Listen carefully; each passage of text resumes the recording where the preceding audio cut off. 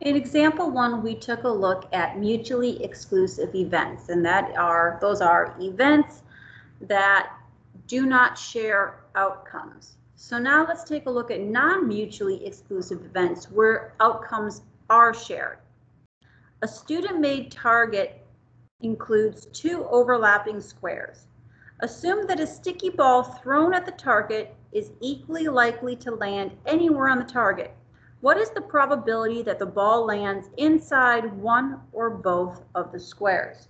So here we have total area, 1200 centimeters.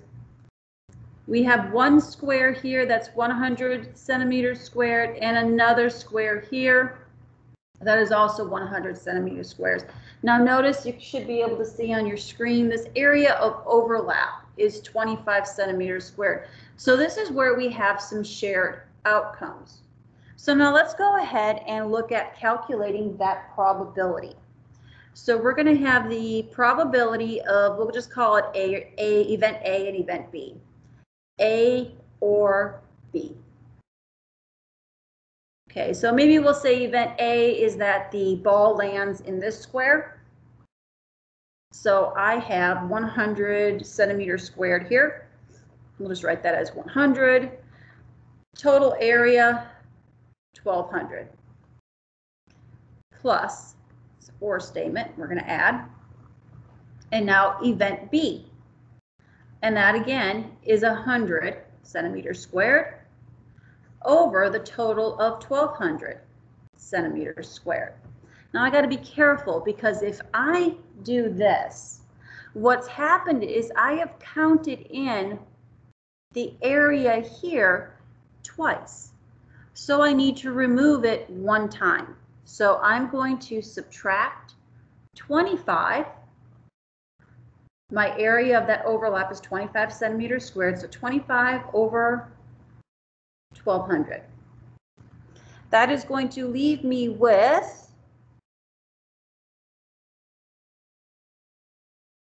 one hundred and seventy-five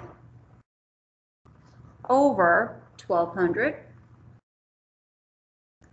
And if I reduce that fraction down, it is seven over forty-eight. And again, I can write this probability as a fraction. This is okay, 748, this is okay. I could also write this if I um, do 7 divided by 48, I get 0.15, totally okay. I can also write this as a percentage, 15%. All three answers are correct and acceptable. So here we go. Probabilities of non-mutually exclusive events. If A and B are not mutually exclusive, meaning that they do share outcomes, then the probability of event A or B occurring equals the probability of event A plus the probability of event B minus the probability of event A and B. Let's go ahead and take a look at your try it. And again, I encourage you to pause the video, jot it down, give it a shot, and then come on back and see how you did. So a video game is played on a 34 centimeter by 20 centimeter rectangular computer screen. A starship is represented by two overlapping circles of radius 6 centimeters, whose area of overlap is 20 centimeters squared. A black hole is equally likely to appear at any point on the screen. To the nearest whole percent, what is the probability that the point will appear within the starship? I am not a fan of them having you guys calculate a lot of area. We're just going to go through it. You will not see something like this on a test. I'm going to give you the area and then let's work with it. So the area of the screen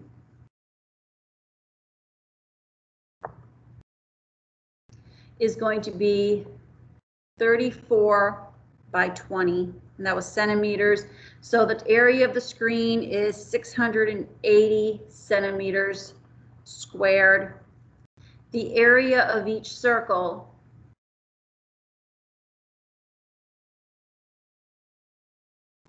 area is of a circle is pi r squared. So that is 36 um, pi centimeters squared. And then your overlap, they already gave you that area. Overlap is 20 centimeters squared. So again, we have the possibility of um, shared outcomes. This is non-mutually exclusive. So when we do probability of A or B happening, so here probability of each circle. So I've got two of these circles. 36 pi over my total was 680 plus, and then the other circle was also 36 pi over 680.